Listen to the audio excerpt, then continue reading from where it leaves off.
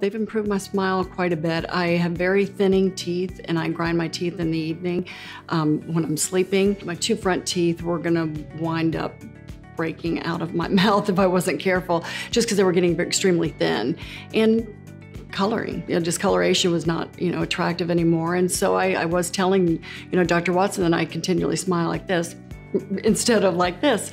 And they have been able to fix the front end of my teeth to where they're, you know, now have I now have veneers and I smile a lot often and they're a lot whiter than they were before.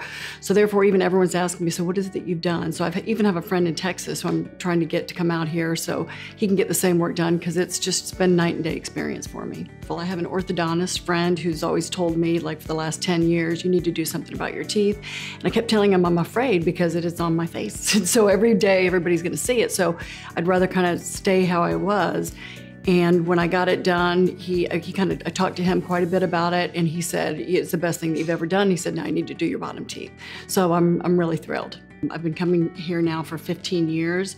I've just really impressed with not only how kind and considerate and friendly everybody is, but how professional they are and just thorough.